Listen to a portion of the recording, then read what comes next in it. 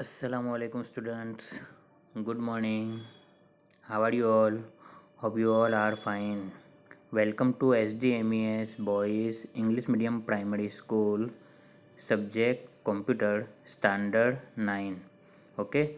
In last session we started chapter number 12 Introduction to Presentation. Okay. In which we discuss about how to start impress software in computer, ubuntu linux operating system, and what are the advantages of using a presentation? Okay so last session में हम लोगों ने ये तीन topic discuss किए थे। In today session we are going to discuss about the main window of the impress okay impress software की जो विंडो है, जो तीन भाग में डिवाइड हुई थी, बराबर है? Number one is slide panel number two is work space and number three is task panel तो आज वो अपने तीनों तीन विंडो को डिटेल में समझने की ट्राई करेंगे। Number one is slide panel आप ऊपर की इमेज में देख सकते हो figure number twelve point three में, जो लेफ़्ट साइड में है वो है स्लाइड पैनल वहाँ पे जितनी भी स्लाइड्स होगी, वो एक के बाद एक नीचे आपको नज़र आएगी। आपको अगर उसकी ज़रूरत नहीं है if you are not required the slide panel you can close it okay so let's start today session from the slide panel. One of the three parts of the main Impress windows is slide panel. This part contains the smaller picture of the slides of your presentation. These smaller pictures of your actual slides are called thumbnails. Means what? जो ये छोटे छोटी images है जो आपकी slide की, जो आपको लेफ़्ट साइड में नज़र आ रही है स्लाइड पैनल में, उसको बोला जाएगा थंबनेल बराबर है? मीन्स स्लाइड के छोटी इमेजेस को थंबनेल्स कहा जाता है। एग्ज़ाम में पूछा भी देता है, ये क्वेश्चन थोड़ा आपको याद रखना है। The thumbnails are in the same order of the slides of your presentation the order of the slides can be change okay तो जो प्रेजेंटेशन में आपने जो स्लाइड रखी हुई है, जो सीक्वेंस में रहती है, वही सीक्वेंस में आपको ये स्लाइड पैनल के अंदर भी नज़र आएगी। बराबर है? यानी नंबर वन पे जो स्लाइड होगी, वही आपकी प्रेजेंटेशन में भी नंबर वन होगी। नंबर टू पे जो यहाँ स्लाइड पैनल में होगी, वही आपकी प्रेजेंटेशन में नंबर टू स्लाइड होगी। अब आप इसमें क्या कर सकते हो? आप उसको सिक्वेंस को चेंज कर सकते हो। अगर आपको ज़रूरत है कि नहीं नंबर थ्री पे जो स्लाइड है, उसको मेरे को आगे लेके आना है तो you can change the sequence okay Clicking a slide in the in this panel, the slide will be selected as the current slide and will be placed in the workplace. Okay okay? यानी slide panel में आप जो भी यहाँ से आप जो भी सिलेक्ट करोगे बराबर है? वो आपको वर्क स्पेस में वही स्लाइड दिखाई देगी। वो आपकी करंट स्लाइड बन जाएगी। बराबर है? यानी आपने अगर यहाँ पे पाँच स्लाइड है मैंने नंबर थ्री पे क्लिक किया तो ये आपकी करंट स्लाइड बन जाएगी। और यहाँ पे मेन जो सेक्शन है आपका मेन डिपार्टमेंट जो वर्क स्पेस बताया जाता है जहाँ पे आप एडिटिंग कर सकते हो वहाँ पे वही स्लाइड आपकी नज़र आ जाएगी। और जो वर्क स्पेस में नज़र आती है, वहीं पे आप सारे एडिट के ऑपरेशन या जो भी आपने कम एनिमेशन और जो भी आपको अप्लाई करना है, वो वर्क स्पेस में ही आप कर सकते हो। बराबर है? When slide is in the work space you can edit it as per your needs several additional operation can be carried out on current slide or on selected slides on or, on all slides simultaneously in the slides panel. बराबर है? यानी यहाँ पे ये बताया गया है कि आप बहुत सारे ऑपरेशन एक स्लाइड पे या तो ग्रुप ऑफ़ स्लाइड्स पे एक साथ सिलेक्ट करके अप्लाई कर सकते हो। बराबर है? Some of the common operations are listed below जो कॉमन ऑपरेशंस है जो एक साथ में सिलेक्ट करके आप अप्लाई कर सकते हो वो कौन से है? उसकी एक लिस्ट नीचे बताई हुई है। Number one a slide can be moved to other position and thus order of the slides can be changed means what आप एक जगह से एक स्लाइड को उठा के दूसरी जगह पे रख सकते हो, यानी आप इसकी सीक्वेंस चेंज कर सकते हो। उसके लिए आपको कट और पेस्ट सिलेक्ट करना होगा, बराबर है? जैसे कि नंबर पाँच की स्लाइड है, उसको मेरे को नंबर दो पे लेके जाना है तो मैं क्या करूँगा? नंबर पाँच पे से उसको स्लाइड पैनल में से सिलेक्ट करके वहाँ पे कट ऑपरेशन करूँगा। कट की शॉर्टकट की क्या है? वो अपनों ने लास्ट चैप्टर में पढ़ी थी। What is the shortcut key? Control X जैसे ही आप कंट्रोल एक्स करोगे तो वो वहाँ से हट जाएगी, और जहाँ पे आपको जाके रखना है। वन के नीचे तो आपको वहाँ पे पेस्ट कर देना है तो वहाँ पे वो स्लाइड मूव हो जाएगी। बराबर है? Number two one or more slides can be copied at one or several places copy में क्या होगा? आप कॉपी कर सकते हो। एक जगह से सिलेक्ट करके उसको दूसरी जगह पे पेस्ट करोगे तो कॉपी पेस्ट हो जाएगा। कट और कॉपी में डिफरेंस ये है कि कॉपी में आप एक बार कॉपी करके उसको सो मेनी टाइम्स पेस्ट कर सकते हो, बराबर उसकी मल्टीपल कॉपी बना सकते हो, लेकिन कट में ऐसा नहीं है, कट में एक बार मूव होगा, आपने जहाँ से कट किया, वहाँ पे से हट जाएगा, जहाँ पे पेस्ट करोगे वहाँ पे आ जाएगा, लेकिन उसके बाद उसके और जगह पे करना है तो वापस से आपको कट करना पड़ेगा, बराबर है? You need to select option again number three new slides can be added to the presentation आप नई स्लाइड्स ऐड कर सकते हो। Any slides can be deleted if it is no longer use or needed यानी आपको और कोई slide की ऐसी कोई स्लाइड है जिसकी आपको ज़रूरत नहीं है तो आप उसको एट एनी टाइम डिलीट कर सकते हो। You can hide one or more slides if you don't want them as a part of your presentation अगर आपको कुछ ज़रूरत नहीं है, लेकिन आगे जाके ज़रूरत पड़ने वाली हो तो आप उसको क्या कर सकते हो? हाइड कर सकते हो। हाइड कर देना, यानी छुपा देना। Okay now next point is slides name by default slide one slide two and so on can be renamed आपके स्लाइड पैनल में जो भी स्लाइड्स रहेगी, वहाँ पे स्लाइड वन स्लाइड टू लिखा हुआ है आप उसका नाम भी चेंज कर सकते हो, आप उसको रीनेम कर सकते हो। Next point is you can change the slide design or slide layout for the selected slides simultaneously आपको कुछ कलर चेंज करना है या आपको लेआउट चेंज करना है तो यू कैन चेंज इट आपको बस उसको सिलेक्ट कर लेना है और वर्क स्पेस में जाके आप उसको ईजिली एडिट कर सकते हो। बराबर है? Next panel is task panel तो अपनों ने ऑलरेडी अभी कौन सी पैनल डिस्कस की? ये वाली। दिस इज़ कॉल्ड ये जो है, इसको बोलेंगे स्लाइड पैनल बराबर है? अब ये बीच में है वर्क स्पेस इसको आखिर में देखेंगे। अब अपने देख रही है टास्क पैनल बराबर है? तो आप लोगों को पता होना चाहिए कि अपने किसके बारे में पढ़ा है बराबर? के और उसमें क्या क्या ऑपरेशन या कौन से कौन से टास्क क्या क्या फीचर्स है उसके? यू हैव टू नो आपको पता होना चाहिए। जब तो आप अच्छे से उसकी पर फिर प्रेजेंटेशन बना सकते हो। तो now let's start the task panel The second part of the main Impress window is known as the task panel. It has five sections.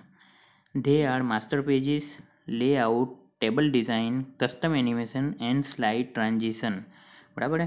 तो देखो, ये जो सेकंड पार्ट है आपका इम्प्रेस विंडो का, वो पहचाना जाता है टास्क पैनल के नाम से। उसमें आपको मेन पाँच सेक्शन दिए गए हैं। Number one is master pages देखो, आप यहाँ पे देख भी सकते हो। सबसे ऊपर मास्टर पेजेस लिखा हुआ ही है बराबर है? मास्टर पेजेस के बाद क्या है? Layout third one is table design तो देखो ये फिर नीचे आप जैसे ही देखोगे ना, ये वाला विंडो लेआउट उसके ऊपर जो साइड में एक एरो है, जैसे उस पर क्लिक करोगे तो उसमें आपको लेआउट नज़र आ जाएगा। उसके बाद टेबल डिज़ाइन है, उसके बाद कस्टम एनिमेशन है और आखिर में स्लाइड ट्रांजिशन है। समझ में आया? तो ये फाइव सेक्शंस है। ये फाइव सेक्शंस की जो भी एडिटिंग रहेगी आपकी, वो आप टास्क पैनल में से कर सकते हो।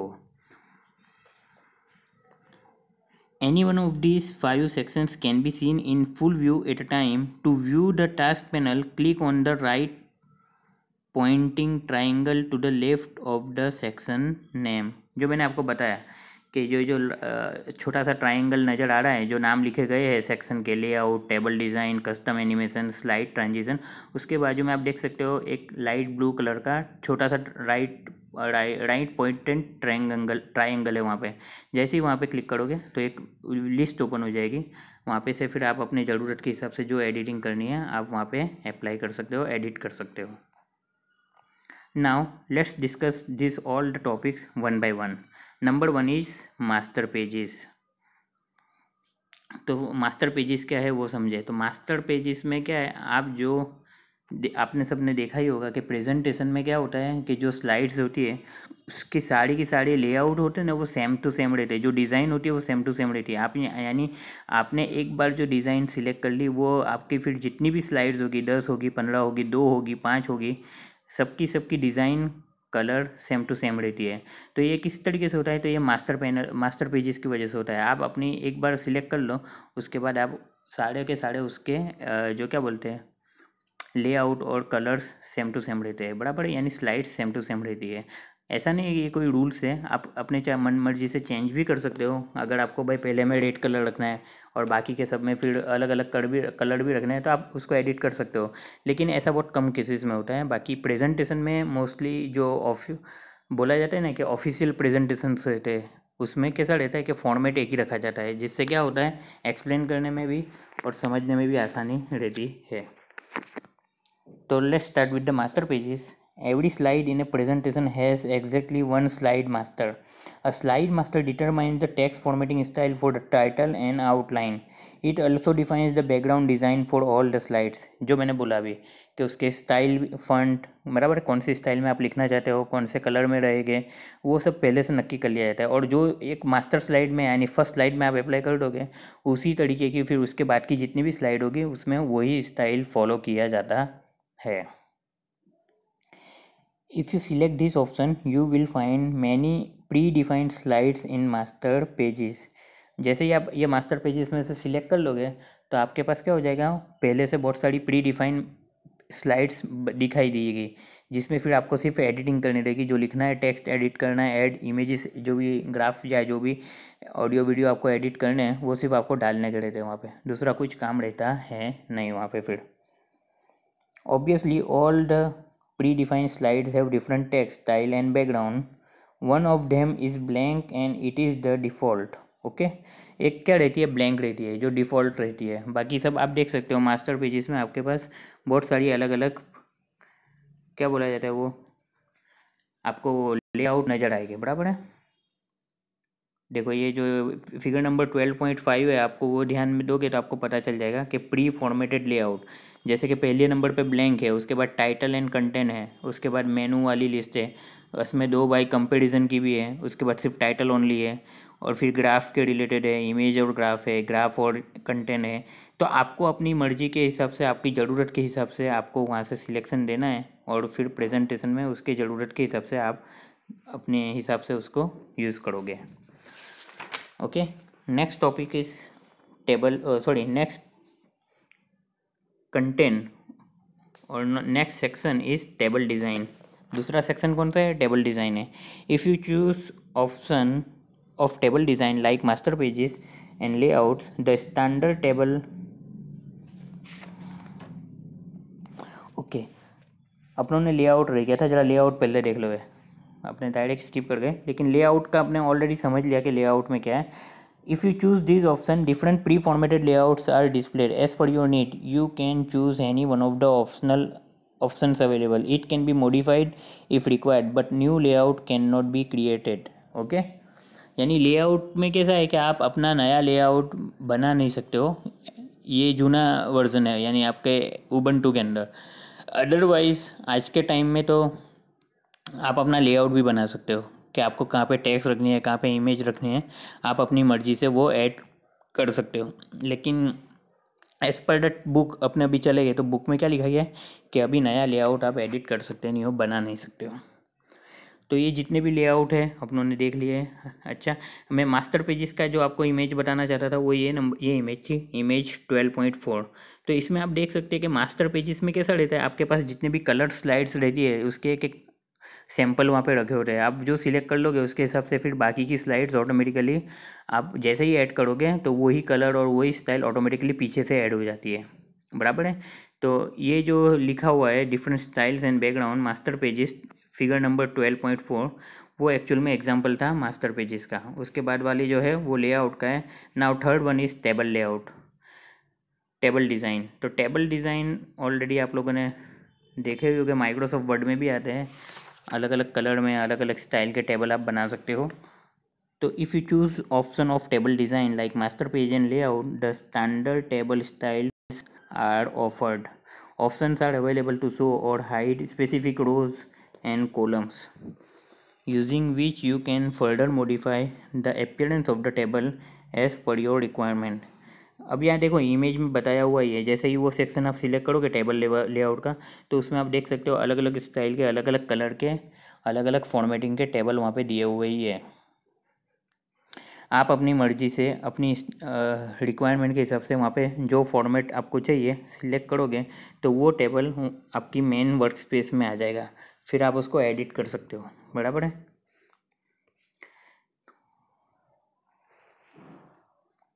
इसमें देखो एक और ऑप्शन भी है, जो मैं बताना चाह रहा था कि option are available to show or hide specific rows and columns using which you can further modify the appearance of the table as per your requirement यानी क्या? आपको रो और कॉलम की जो ज़रूरत नहीं है तो आप उसको हाइड भी कर सकते हो। बराबर? ये एक ऑप्शन है। तो जिससे क्या हो सकता है, आप और भी अच्छे से उसको मॉडिफाई कर सकते हो, उसकी डिज़ाइन को, उसके लेआउट को टेबल को। बराबर है? Next one is custom animation A slide contains text, table, graph or any such objects using the options available in this section. You can apply animation effect to any selected portion of the slide. बराबर custom animation already आपको पता ही है। Animation means क्या? अलग अलग effect apply करना। लेकिन यहाँ पे दो तरीके के एनिमेशन आते हैं। एक तो अपने अभी कस्टम देख रहे हैं वो और उसके बाद जो दूसरा है स्लाइड ट्रांजिशन तो दो स्लाइड के बीच में जो एनिमेशन आएगा, उसको ट्रांजिशन का एनिमेशन बोला जाएगा। बराबर है? यानी एक स्लाइड खत्म हो रही है और दूसरी स्लाइड चालू हो रही है। तो वो कितना स्मूथली हो रहा है। उसमें आप अलग अलग इफ़ेक्ट जो अप्लाई करोगे जो टाइम ड्यूरेशन सेट करोगे, उसके हिसाब से वहाँ पे एनिमेशन ऐड होगा। लेकिन कस्टम एनिमेशन में क्या होगा? आप जो स्लाइड सिलेक्ट करो उसमें अलग अलग जो ऑब्जेक्ट लिए हुए हैं, जैसे कि इमेज ग्राफ टेक्स्ट आप उसको कैसे वहाँ पे दिखाना चाहते हो? जैसे कि टेक्स्ट में आप अलग अलग स्टाइल अप्लाई कर सकते हो, बराबर है? कि आपके फंट ऊपर से गिर रहे हैं, या तो फिर आपके फंट लेफ़्ट साइड से कहीं से बाढ़ से आ रहे हैं, या राइट साइड से मुँह होके आ रहे हैं, या तो ऊपर कहीं से नीचे से ऊपर से घूम फिर के आ रहे हैं। आप ये सब एनिमेशन वहाँ पे सेट कर सकते हो अप्लाई कर सकते हो as per your requirement a slide content text table graph or any search objects using this option available in this action you can apply animation effect to any selected portion of the slide means क्या? आप कोई भी portion पे animation apply कर सकते हो। ये जो पे जो अपनों ने नाम बचे ना text table graph or any search objects you can also visualize the effect of the animation on the selected elements यानी आप जो भी इफ़ेक्ट अप्लाई करोगे ना, उसको आप देख भी सकते हो विजुअलाइज भी कर सकते हो। कहाँ पे वर्क स्पेस में। Selected elements immediately after the selection जो भी आप जैसे ही वो इफ़ेक्ट डालोगे, आपको पता चलेगा कि इसकी इफ़ेक्ट क्या आ रही है। सामने प्रीव्यू दिखेगा आपको उसका। By selecting okay you can finally apply the effect to the effect of the animation जैसे ही आप ओके क्लिक कर दोगे तो आप क्या कर रहे हो? वो एनिमेशन अप्लाई कर रहे हो, वो ऑब्जेक्ट के ऊपर। A variety of animations are available here. See figure number 12.7 okay? Animation once applied to a slide can also be changed or removed later. यानी आपने कोई अप्लाई कर दिया, उसके बाद आपको लगता है कि नहीं, ये सही नहीं है तो आप उसको रिमूव भी कर सकते हो। देखो ये figure number twelve point seven है। इसमें आप जैसे ही देखोगे तो आपको पता चलेगा। These are the animation you can apply on object this is called custom animation of objects बराबर है? उसके साइड में जो है, वो है स्लाइड ट्रांजिशन उसमें भी कुछ एनिमेशंस मिलेंगे आपको। जैसे देखो, ये लिखा हुआ है wipe up wipe right wipe left बराबर है? और उसके अंदर दूसरे भी दो तीन ऑप्शन आएँगे जो अपने अभी उसको पढ़, पहले समझ ले पे। Slide transition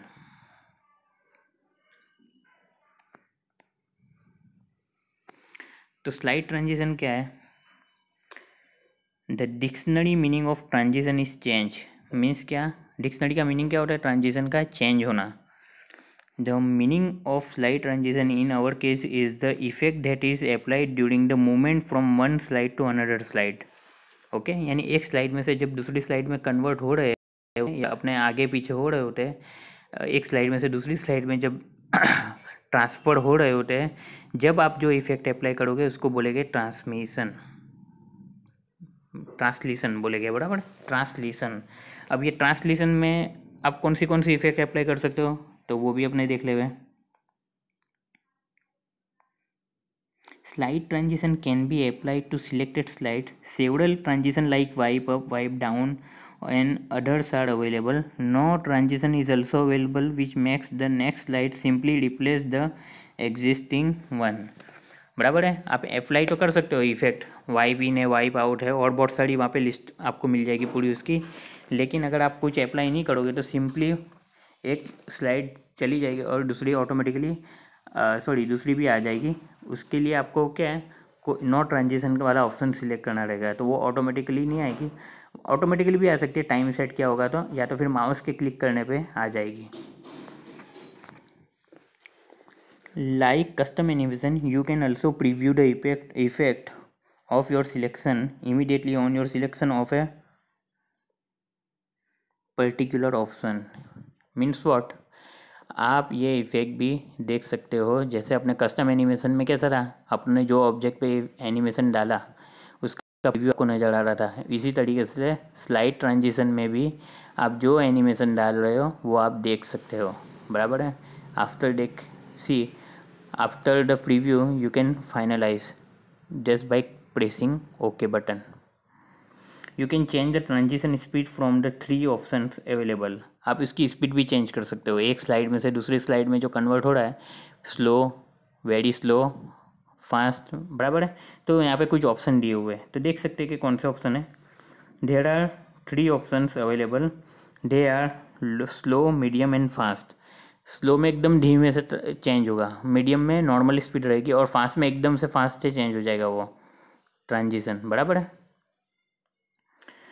The slide transition can be set as automatic or manual if you want that the transition is automatic at as certain interval select automatic देखो, अब ये दोनों तरीके से अपने ट्रांजिशन कर सकते हैं। ऑटोमेटिक भी है और मैनुअल में भी है। मैनुअल में explaining the one slide you need to press mouse button or arrow arrow keys जैसे ही वो प्रेस करोगे तो आपकी वन स्लाइड मूव ट्रांजिट चल, जो स्लाइड अभी एक्सप्लेन कर रहे थे, वो चली जाएगी और दूसरी स्लाइड उसके बाद जो होगी सीक्वेंस में वो ओपन हो जाएगी।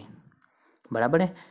अब ऑटोमेटिक ऑप्शन अगर आप सिलेक्ट करते हो तो वहाँ पे आपको टाइम सेट करना पड़ेगा। रेगुलर इंटरवल पे वो टाइम पे वो मूव हो जाएगी ऑटोमेटिकली जैसे कि आपने 10 सेकंड रखा तो आफ्टर 10 सेकंड्स वो ऑटोमेटिकली मूव होके नेक्स्ट स्लाइड पे चला जाएगा। बराबर है? Select automatic. Here, you have to set the time interval at which the next slide is to be pre presented. The default time interval is one second. Exam में पूछा देता है कि what is the default time interval in Impress तो कितना है वो? एक सेकंड का रहता है। बराबर है? तो इसको आप एडिट भी कर सकते हो चेंज भी कर सकते हो। एक सेकंड की जगह एक मिनट दस मिनट पंद्रह मिनट आपको जो एक स्लाइड एक्सप्लेन करने में टाइम लगता हो, उसके हिसाब से आप उसको एडिट कर सकते हो। By selecting all slide, the slide transition set will be applied to all the slides of the presentation. बराबर है? यानी आप अगर अप्लाई टू ऑल कर दोगे तो आपने जो इफ़ेक्ट एक स्लाइड पे अप्लाई किए वो सारी की सारी इफ़ेक्ट सभी के सभी स्लाइड पर अप्लाई हो जाएगी। सभी के सभी सब स्लाइड पर वो इफ़ेक्ट अप्लाई हो जाएगी। जैसे कि आपने टेन सेकंड कर दिया तो टेन सेकंड का ट्रांजिशन टाइम सेट हो जाएगा सभी स्लाइड के लिए। आपने कोई एनिमेशन डाल दिया तो वही एनिमेशन सभी सब की सब, सभी के सभी स्लाइड पे अप्लाई हो जाएगा।